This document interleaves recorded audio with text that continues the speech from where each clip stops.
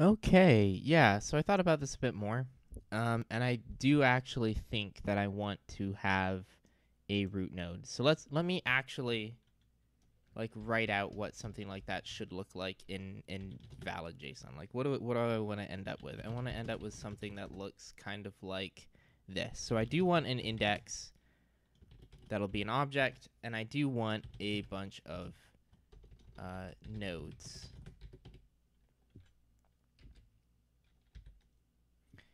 And inside my index, I want a reference to the same nodes by their name. So if I had like a my node, or well, let's let's actually line it up with the thing that I'm building. Um, and inside here, we should just have another node. Uh, split that up so it's a bit cleaner, more obvious what's going on.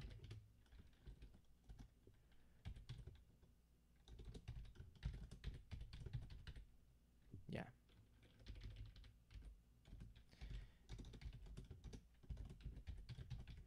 So, a uh, couple of things you'll notice here. Um, I guess index and nodes are the only stuff that's actually required. Well, I can even actually be kind of um what I'm what I'm thinking, I thought about this more. And like what I'm thinking is I don't want to be I want to leave things open for myself for expansion in the future. Um, so I'm not being super strict about syntax here. Like, pretty much every key on a node should be optional. Um, and the possible exceptions for that is index and nodes, where index is a link, uh, is a set of every node that's linked to you, and um, well, or nodes is is a list of every node that's linked to you, and index is just a way of getting it. Uh, here's the secondary thing that I was thinking, which I am hundred percent not sure about, but um, is potentially worth looking into. The problem with this is that it's not, maybe not deterministic, and it exposes some implementation details, and I'm a little bit weirded out by that. But like, it would be nice to just have an index and to have everything be indexed period. And and if you don't provide an id i just generate you a default one. Because you can like this is javascript. You can iterate over an object's keys. That's not a problem. So the only problem the only actual problem there is i would need to generate the keys in a deterministic way. And I would need to check for collisions whenever you specify a key name. And I would never be able to go back and change that without like incrementing a major version. Um, it's a lot cleaner and better to stick them in an array. Um, but I don't want to extend an array and stick extra properties on an array. So for right now, just for clarity's sake, uh, just just to ease development, and I will probably come back and figure something else. For right now, you get index and you get nodes. And in fact, let's even just make things. Uh, nodes is fine for me. Um, the other thing I could do is move index off of the JSON structure entirely, but like I think that's kind of a waste. I think that's problematic because I want to be able like I want this to be just raw JSON. I don't want this to be an object that you're working with. I want you to be able to like send it over a REST request or do some kind of interesting things with it. Uh, so right now I'm gonna treat everything, quite literally everything, is optional. Um,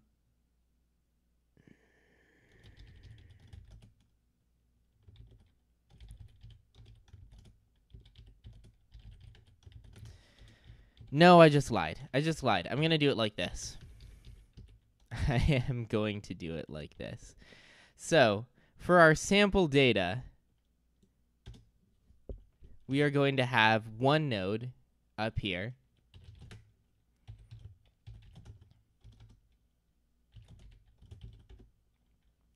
That is going to have a oh my goodness how did i just do this? I, all right nodes list index yeah. That's that's a much cleaner syntax. So this is going to have a nodes list index and i'm just going to auto stick this on every node because i'm the only one who's generating these nodes and i don't need my life to be easy but i don't you don't need to do null checks when you're looking for properties. Um, so for stuff like ID, text, stuff like that, yeah, you're gonna have to do some null checks. I'm not gonna auto propagate those because I want people to be able to arbitrarily add keys to things. So, but for the base structure, the absolute base structure, this is in fact all that I care about. And in fact, I'm not even gonna care about text right now. So we're going to say that the actual graph is going to look like this.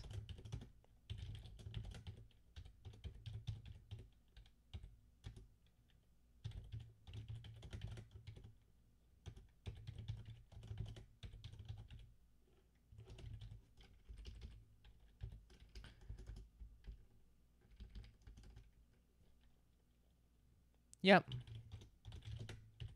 And let's just encapsulate this a bit. And that is ultimately... I don't think this will be tough to, to do at all. Um, but that is ultimately the starting point. Um, I think, honestly, I've probably already hit this in the demo. Or not the demo, but the, the proof of concept. Um, yeah. this is if if I can get this to be spit out, then that's success. So let's just assert that .deep equal JSON graph and cool. So uh, if I run npm test, this should fail. Yep, it blows up very very quickly. All right, can't find module dormouse. All right, cool. So let's actually code the thing. Um, and before I do that, let's take a look at the original, th- uh, the original sort of proof of concept that I was playing around with. Um,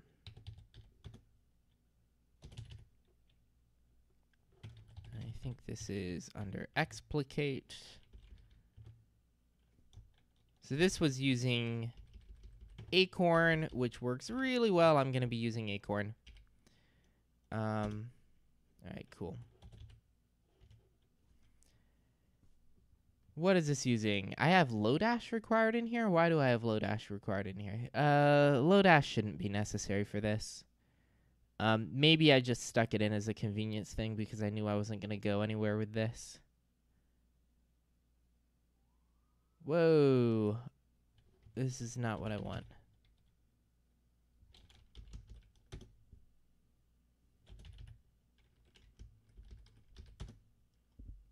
So this is where things get cleaner. So my original my original sort of playing around with this was um, I tried to manually parse out comments myself. Um, that fell apart very quickly because actually no it worked but but um, javascript has this thing now called template literals and template literals can have javascript embedded inside of them which means you're no longer worried about just escaping strings or anything like that you have to basically parse the AST um, in order to get the comments wherever they are. Because I do want comments to be able to be extracted from template literals. Um, so now I'm using Acorn because uh, Acorn is just a lot better at that. Um, it already generates an AST, so like there's no point in me reinventing the wheel.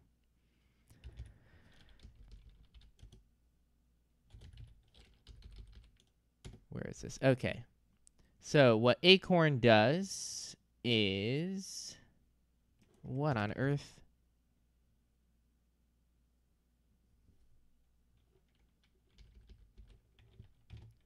It's one of these files, I swear.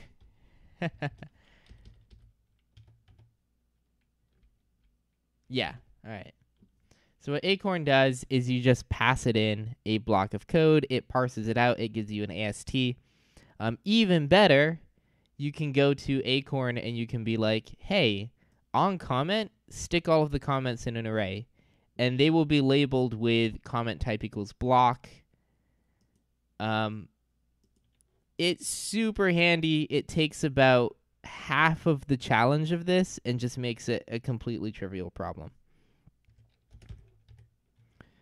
So, uh, we are going to need to install Acorn.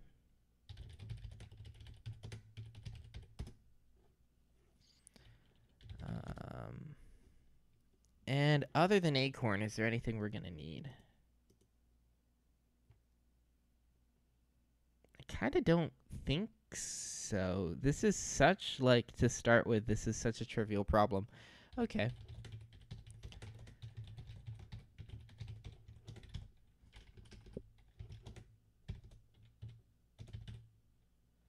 Uh, how does acorn work again? We just do acorn.parse. Um, we can pull the AST out, but I don't particularly care about that. Uh, so what's the actual... What's the actual stuff I want here?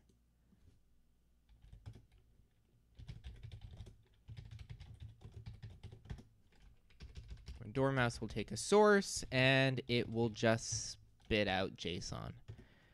Um, and for now, that's all I'm going to worry about. Maybe there needs to be a more advanced API. I don't know. Whole point is just get things working and then refine it later. Um, I don't actually need to do the whole function thing. You can stick things inside block statements, but I like to be able to return things. Uh, yeah. In fact, since we're doing this, let's get some practice with this and see if it's actually a good idea or not. So let's actually stick a couple of blank comments in here and see if I actually like the syntax and like using it. Uh, so we are going to call this at entry. We are going to label it dormouse. Um, I'm going to say um, call this method um, parses a source and returns a JSON object that represents your comments. Um, and we can get all fancy. We can be like, okay, I don't just want my API documented. In fact, I probably don't want to document my API in here. I probably want to move that to tests. We'll, we'll talk about that later. Um, but I also want to uh, document like an implementation. Implementation, yeah. So I can be like, okay, um, take comments and use acorn to parse comments.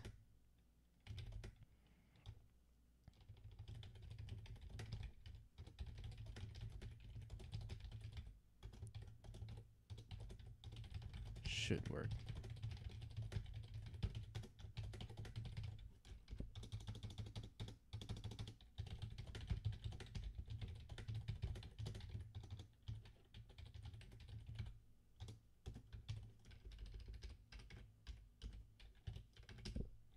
All right, cool. Um, I am okay with that. I don't need an ID there. So what I can do actually, when I try to do anything with this documentation, I'll try to, to parse it out into a, a site or something like that, maybe at some point, um, is I can just skip over all the implementation details. Um, yeah, I actually quite like that.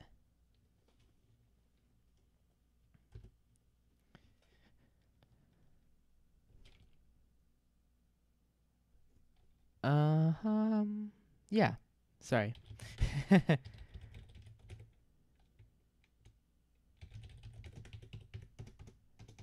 uh, blarg blarg. Acorn.parse source.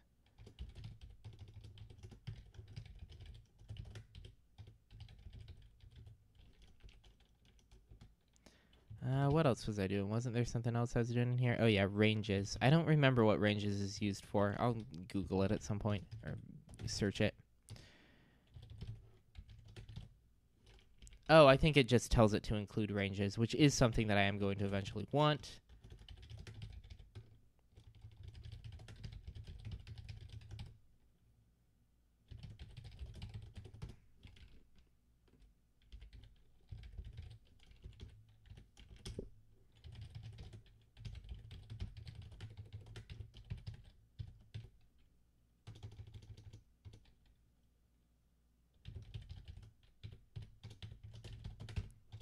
Have the...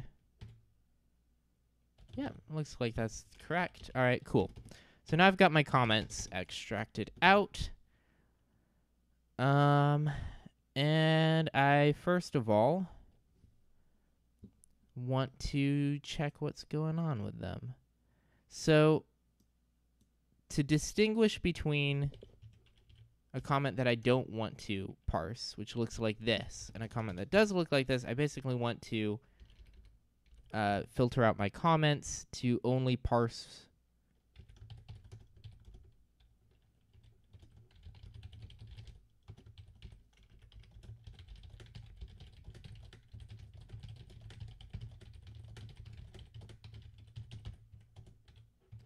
as long as I'm in here actually.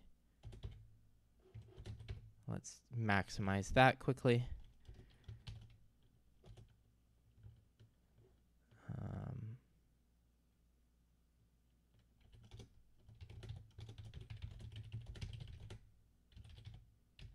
here's here's what actually caused me to want when I was talking about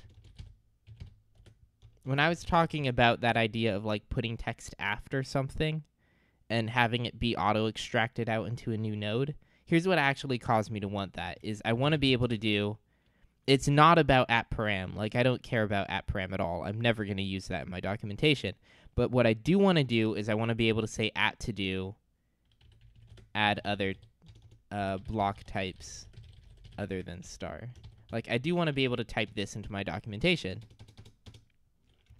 And I want to be able to if I'm building a personal site or something, I want this to be extracted out as a completely separate node. That's a, a to do node. Um, which means what that looks like has to be that it's linked, that this block of text is linked to another block of text that itself is linked to a to do node.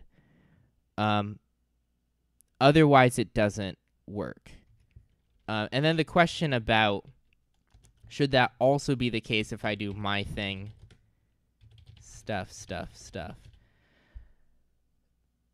This is just a question of consistency. Like, I don't really see a use for this other than it's weird that you can do it with ats and you can't do it with the index. But maybe maybe this is just a shorthand for doing everything in one line. Maybe what you want to be able to do is to say my thing do a thing. And maybe you even simplify that down to look like that.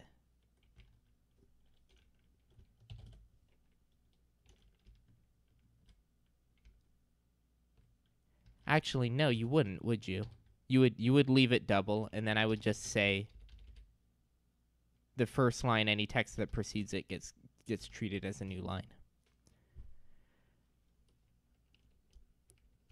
That's something that I could see where I could say my thing do some stuff here. Would I be okay like if I stuck in an at to do make this better. That actually would be really handy to have. This is something that I would make extensive use of. To be able to just stick an at to do anywhere I wanted in my code this would be extremely useful to make a blank node that's linked to at to do. This would be less useful, but I could see myself using this. Where this would not this would not work the same way as the at. This would um this would create another node with an ID of my thing and with a text of do some stuff here. Whereas this would make a new node linked to at to do and with the text make this better.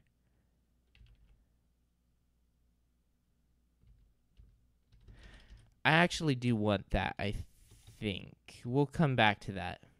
That can be a later thing. Um, and in fact, since we can just arbitrarily set these things, I'm going to have far more implementation details than I'm going to have public facing API. Um, that will almost always be the case with uh, that will almost always be the case with with documentation. So we'll still leave this at entry, but we're going to switch things around and we're going to call this public. And anything that's not marked with public, if I eventually generate documentation out of this thing, I'm not going to show public nodes. Um, remember, uh, re- remember that that's not part of the API. This is just me thinking ahead to like if I turn this code into documentation.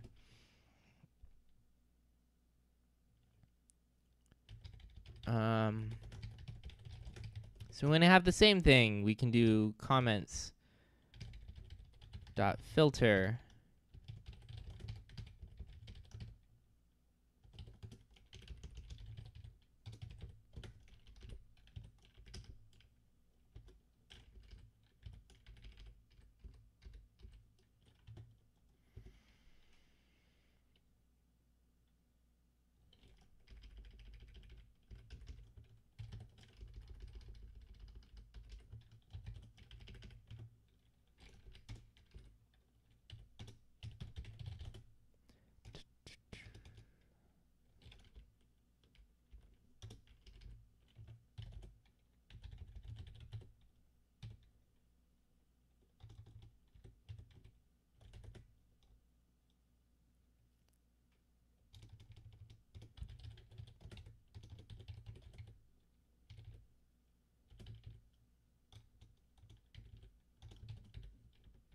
So at some point, this is going to need to be revised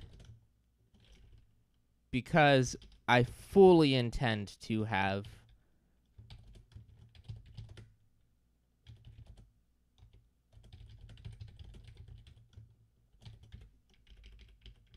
I fully, fully intend to to have other types other than just star.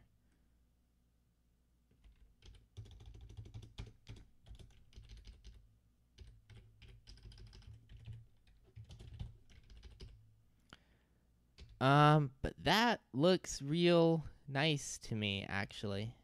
Um, so now we are filtering down to only comments that are of type star. We'll need to come back.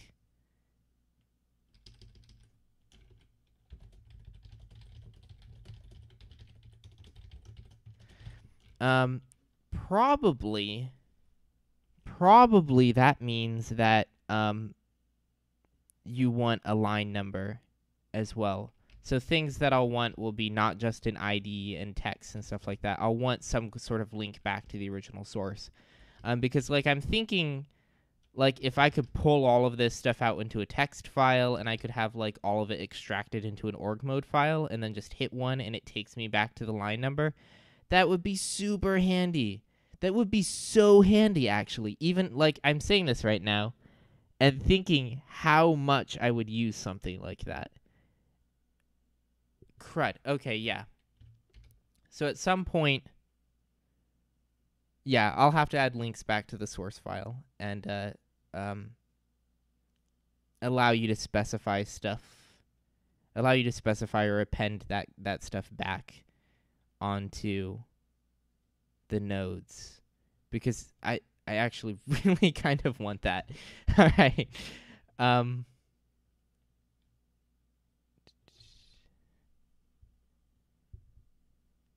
um, and these will be tied together. I'm thinking with like a preceding following block that like if you pass in a bunch of things, you should also be able to just parse through and see like give me all the comments in order. Uh, so what do we want to do? Speaking of that, let's actually build up our graph. Um,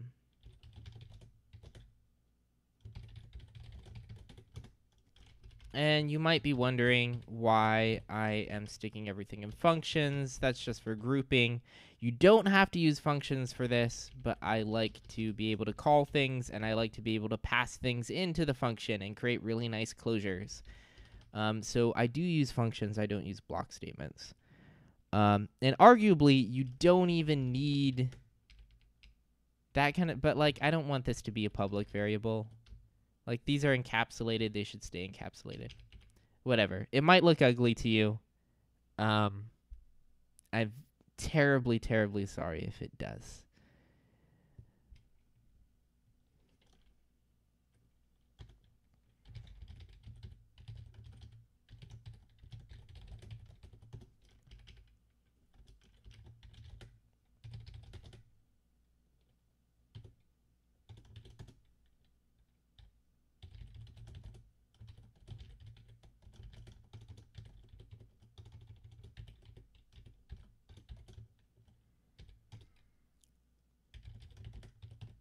All right, so we've got our what the heck, Emacs? Sometimes this thing.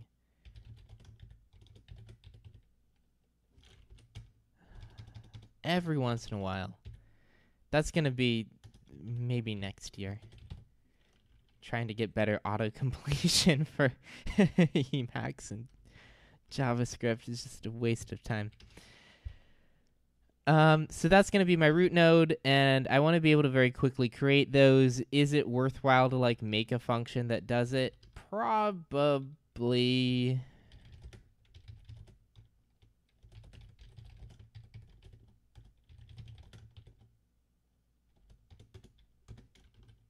Probably.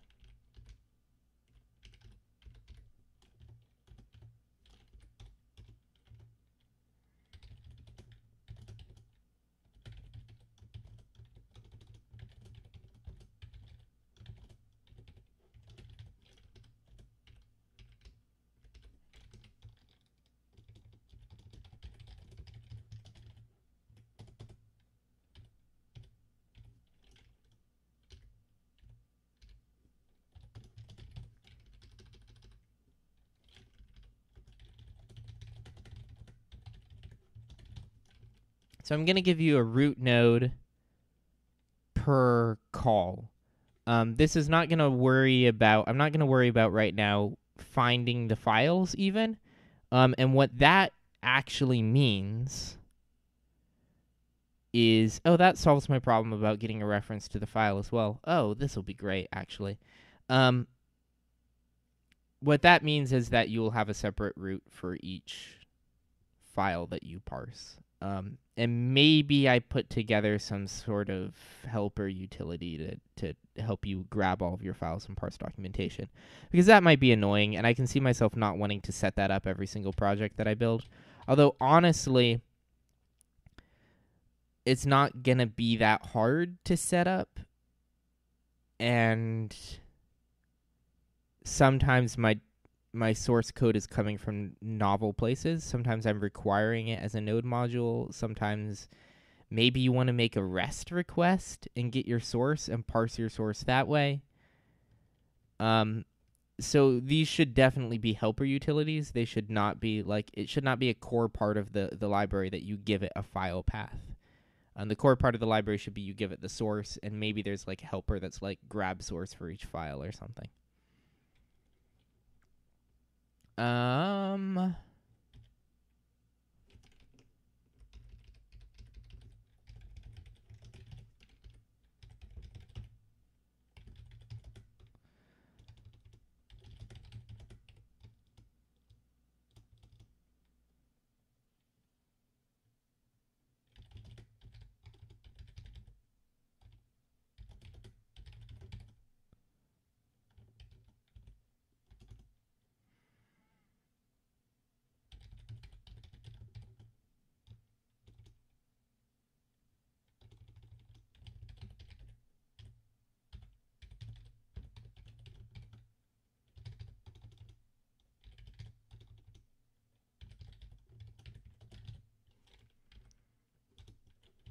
And that's basically it, right?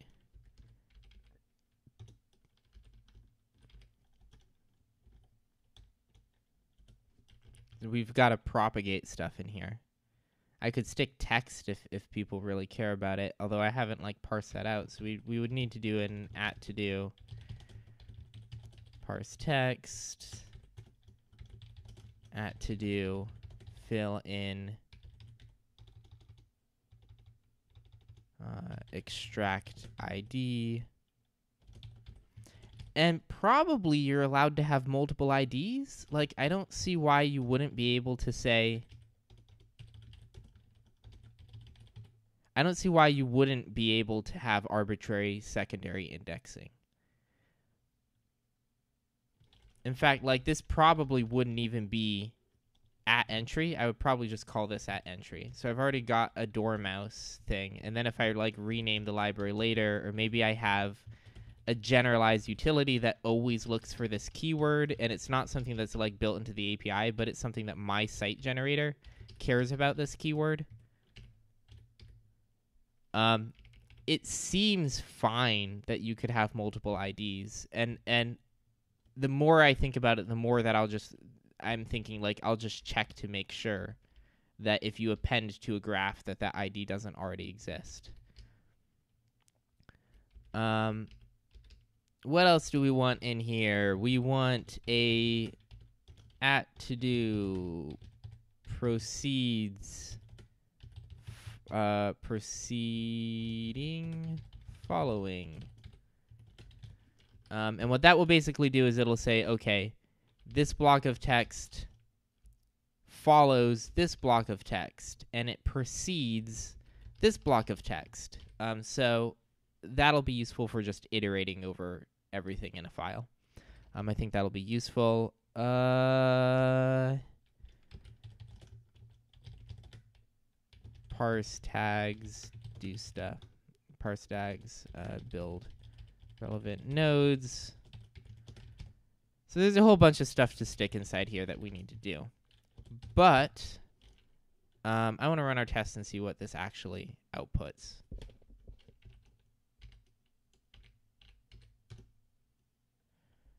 Uh, so what blew up here? Dormouse is not a function. Why is Dormouse not a function? Because it's never returned. Also, Dormouse doesn't return the source, and it very much needs to. return graph. There we go.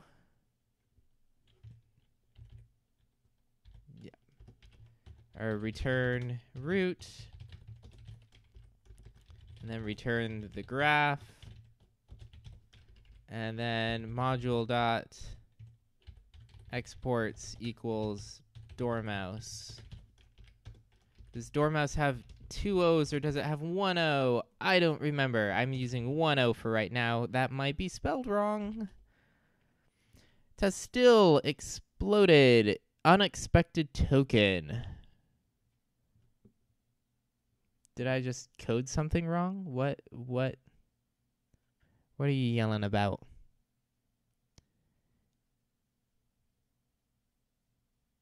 Parse ident. Oh, oh, we definitely don't want to be strict when we're passing stuff into Acorn. Because Acorn will fail at a syntax error. And we do not care about the syntax, we just want comments. We're going to build an AST as close as possible purely for the point that we want to parse out our comments. So where am I doing acorn.parse? I believe, and let me look this up really quickly to make sure. I believe that acorn has a parse dammit function, uh, which literally just like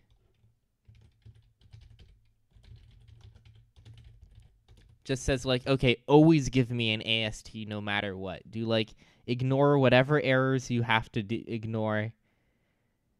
Um, and that is not a temporary thing. We we want that to be like the permanent solution. Yeah. Parse dammit takes the same arguments and returns the same syntax tree as the parse function, but never raises an error and will do its best to parse syntactically invalid code in as meaningful a way as it can. It'll insert identifier nodes with X as placeholders Depends on acorn.js because it uses the same tokenizer. Cool. So, uh, now let's run our tests and see what they do. No, it still is not letting me do this. What's its problem?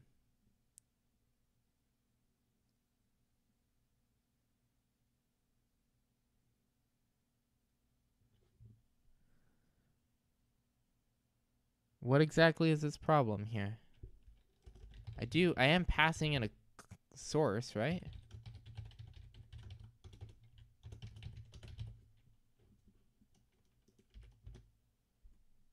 Yeah. Yeah, that looks fine. That's exactly what I want it to handle.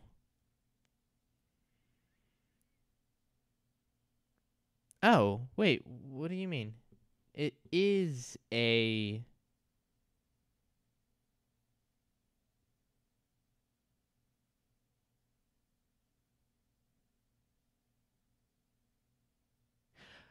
Oh, yeah, we want acorn loose.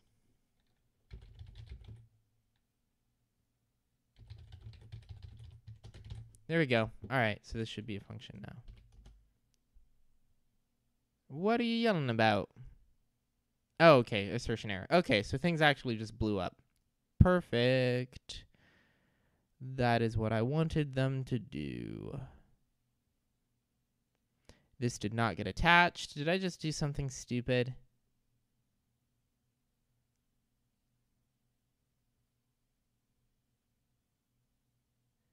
Did I just do something really stupid? root.node dot list dot push block. Oh, well, yeah. Obviously, index should be blank. But I'm not getting anything past even into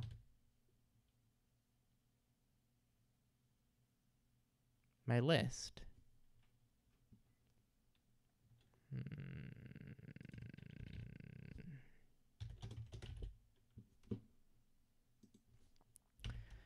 All right, let's do some debugging.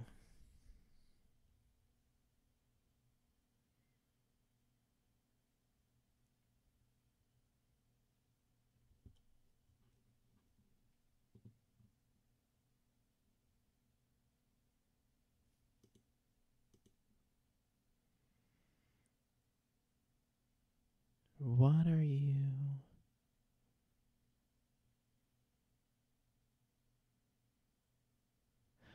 Oh, wait. All right, fine.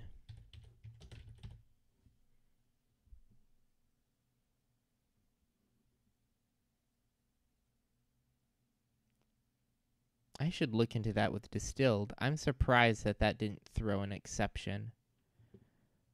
Um, this should have failed on this line. But it didn't throw an exception. Why didn't it throw an exception? Uh, that might actually be a bug in distilled. It should throw an exception there. Should absolutely be throwing an exception there. Um,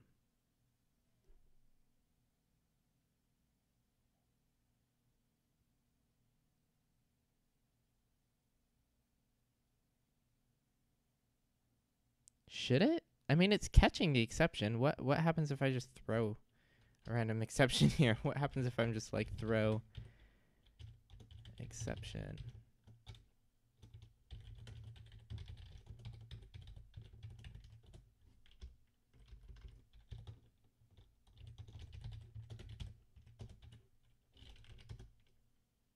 Oh, yeah, no, it catches exceptions, so that is not broken. We do a little bit of debugging. Um, we know that the graph is getting created. We know that a node is getting correct created. We know that it's returning nodes index and list. We are looking at every single comment. Probably comments is not getting filtered correctly. So let's take a quick look and see what is returned from comments. that explains why that didn't throw an exception because I have no comments. So absolutely comments is not getting filtered correctly. But we don't want to check that there. Let's uh, split the difference and check it right at the beginning So then we'll know exactly where the block is that we're overzealously filtering stuff. Okay. It is an acorn that we are overzealously filtering stuff. Uh, so let's jump over back into here. What am I doing here? On comment should return stuff. Comment a type equals block. Am I wrong about that?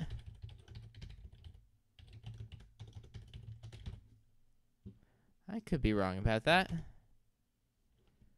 Oh, I am wrong about that. And this is why we use constants. Um, yeah. um, I'll get back to it later.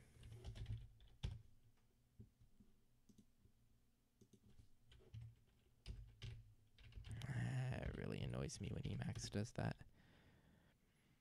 Anything blew up. Things still blew up. We are still unhappy with the state of the world.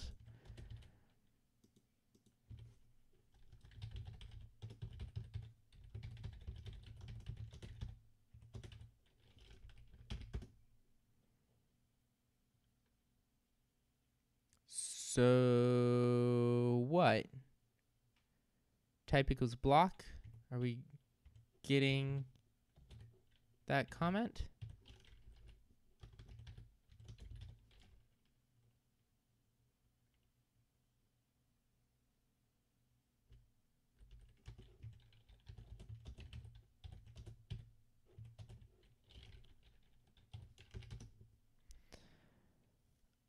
Um,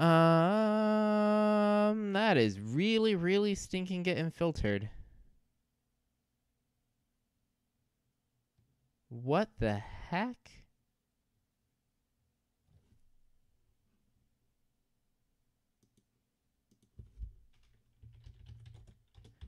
What am I being stupid about?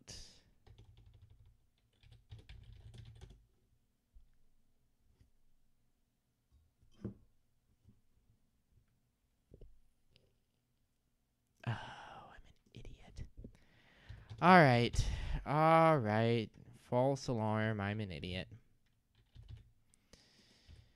Oh, my goodness. That's stupid. All right. Now we get actual real errors. Excellent. Um, so comment.text is not. I guess I have not been paying much attention to how Acorn parses its comments. Maybe it's not a bad idea for me to just permanently leave a log inside here so that I can tell like what what I think it's actually like dot value or something. Yeah, it's dot value. It's not dot text. All right, and let's leave that for a second because inevitably I'm gonna have done something else stupid with Acorn. Oh no, actually that's good. So that passes. Um, so we are actually capable of doing stuff now. That calls for planning what to do next. Uh, let's get rid of the ID and make this permanent. Now there's going to be a whole bunch of extra stuff added here. Assert.deep equal. Why have I not just made an assert dot um, subset equals function?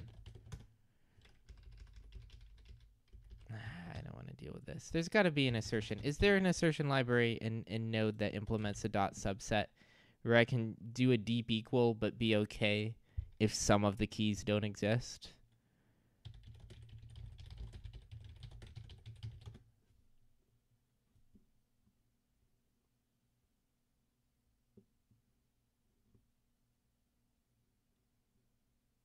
I want, yeah, I want something with a, a dot subset. JS assert object is subset of other object. Is there a Lodash? Is this the entire reason I stuck Lodash in here? This might be the entire reason that I stuck Lodash in here. is just because I didn't want to deal with writing this.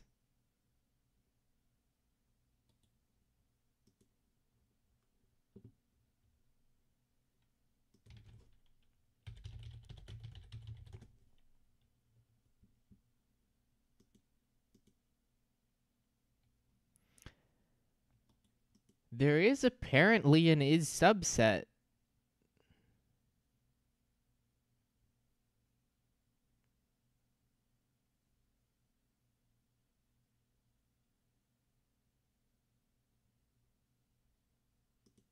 Package. And I don't want to deal with this right now. All right. Yep. So it's time for blindly installing packages from npm. This is going to go in the dev. This is not going to go in the official package. Dev um, is subset. Let's require this.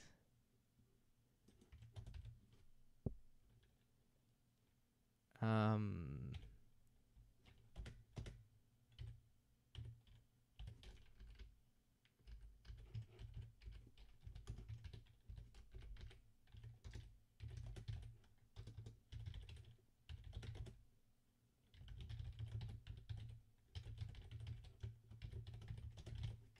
Now this is there's the downside of this is now we're using assert.ok. Like there are cleaner ways to do this. But let's do um, subset.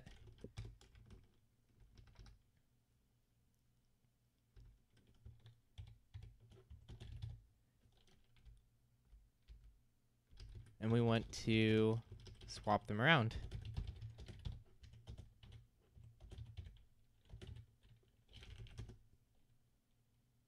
Oh, I already mm-hmm. did that. We want to test.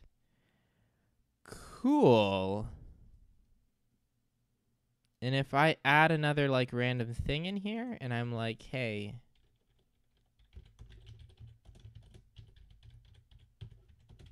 does that work? That should cause my test to fail. No, it don't cause my test to fail. JSON graph. I have those mixed up. Good. Okay. Yeah. Yeah, that causes my test to fail. Um, we don't get pretty error reporting anymore. That makes me unhappy. But this test will still work. Um, so I am going to step away for just a second, and then we are going to implement um, a couple other, like, really low-hanging fruit stuff, like um, proceeding, following, that kind of thing.